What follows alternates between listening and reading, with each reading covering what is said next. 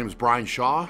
I am the world's strongest man. My name is Krzysztof Radzikowski. Jerry Pritchett, Phoenix, Arizona. My name is Dimitar Savatinov. Uh, I'm from Bulgaria. I'm Martins Licis. I, am Mikhail Shivlyakov uh, from Russia. My name is Vytautas Lalas. My name is Mateusz Kieliszkowski. I am from Poland. My name is Hafþór Björnsson.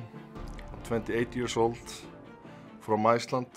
This is one of the uh, heaviest, hardest strongman contests in the world. The uh, event this year is similar to the past years, but uh, every year it gets a little heavier. Because Arnold Classic is such a heavy, heavy competition weight-wise that you never know.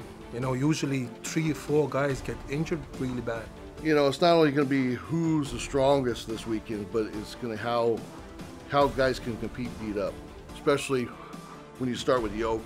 That of all the events is going to beat you up the worst. We got the biggest, strongest, meanest strongman around here.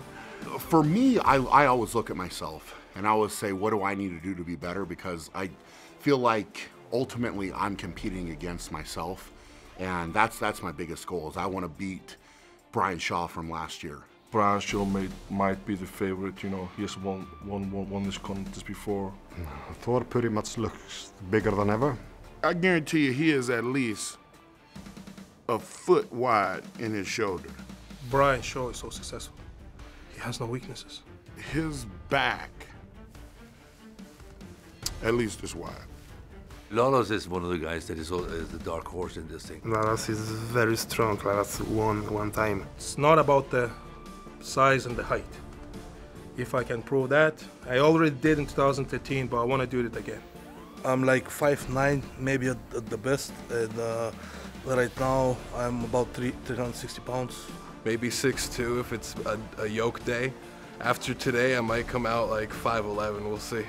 Doesn't matter if they're 240 5'3", or they're 6, 7 feet and they weigh 500 pounds. When we step there, we're all the same. We gotta lift the same weights, we gotta do the same thing, so it doesn't really matter. Martins Licis just got the call uh, after Zydrunas um, dropped out uh, with injury. So he didn't have a lot of time to prepare. All my work in strongman has been to do two shows, World's Strongest Man and the Arnold Classic. So this is kind of wrapping up the beginning of my career. Krzysztof Radzikowski is back.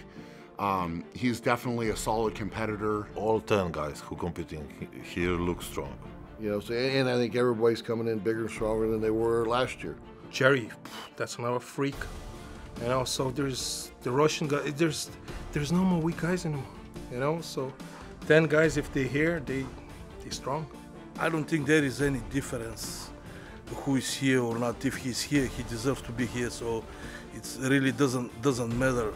I would like to be top three. It's my it's my dream. I'm here to survive every event and to demolish every event to the best of my ability.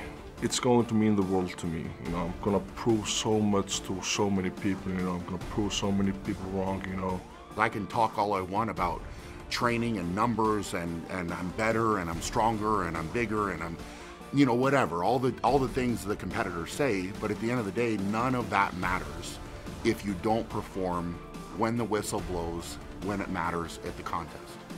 Doesn't matter if you win one battle. It matters who wins the war.